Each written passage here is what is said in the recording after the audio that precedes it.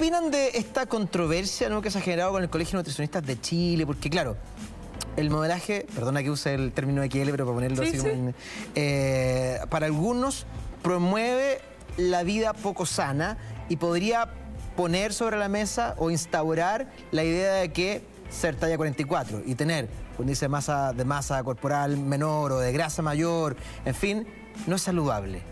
¿Qué les parece a ustedes esa polémica? Eh, pero... Pues claro, perdona, cuando uno, cuando, cuando ustedes en el fondo forman parte de este movimiento de modelaje, la gente puede entender que, ah, está bien entonces tener kilos de más. ese porcentaje de gente negativa se divide en dos. Los que dicen, ellas no son suficientemente grandes y los que dicen, paren de promover la obesidad en el país. Está bien, por eso te lo pregunto, porque es lo que es lo que un poco opina el Colegio de Nutricionistas, ¿no? Pero si lo ponemos al revés, la, la modelo talla 24 Tampoco saludable. Probablemente también está bajo su nivel de IMC, mm, ¿cachai? Mm. Entonces, ¿qué es lo poco saludable?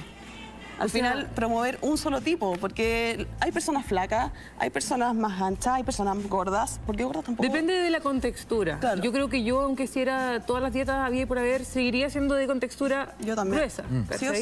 Pero yo que... Eh, siempre que voy al doctor, como que un montón de gente me dice, oye, ¿no tenéis problema el colesterol y cosas así? ¿Pero te cuidáis? ¿Eres de las que se chequea así como Sí, sí, tengo, o sea, estuve embarazada hace... Tengo un hijo de un año cinco y obvio que no tiene que ir a controles y en general soy súper saludable, como que todos mis exámenes siempre están al día y nunca he tenido problemas ni el colesterol, ni prediabetes. Pero tampoco es que promueven la vida como sin, cuidarse, ¿no? Yo creo que todo va por el equilibrio.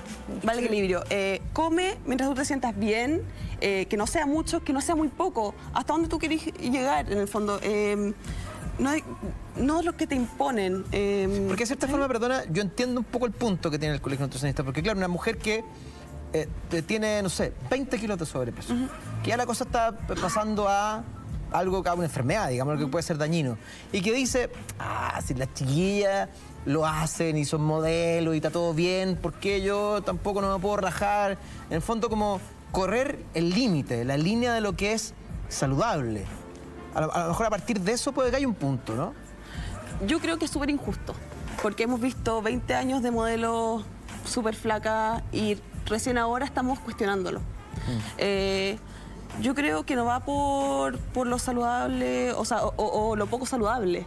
Yo creo que la persona de 70 kilos, de 100 kilos, de 40 kilos, se puede sentir bien y estar bien también, ¿cachai? Ok, tiene que haber un chequeo, tiene que haber un equilibrio de comida, de ejercicio, de rutina eh, diaria, digamos, pero no creo que es, injusto que lo, que lo planteen así porque hemos estado eh, marcados por la industria que nos ha dicho que pesar 40 kilos es lo, es lo, correcto, ¿cachai no? Y, no lo es, porque hoy día hay diferentes tipos de belleza, el estereotipo ha cambiado, estamos más amplios eh, eh, en los cánones. Creo que las cosas han cambiado y por eso También el colegio médico tiene que adaptarse y hacer investigaciones nuevas, quizás de cuándo son todas sus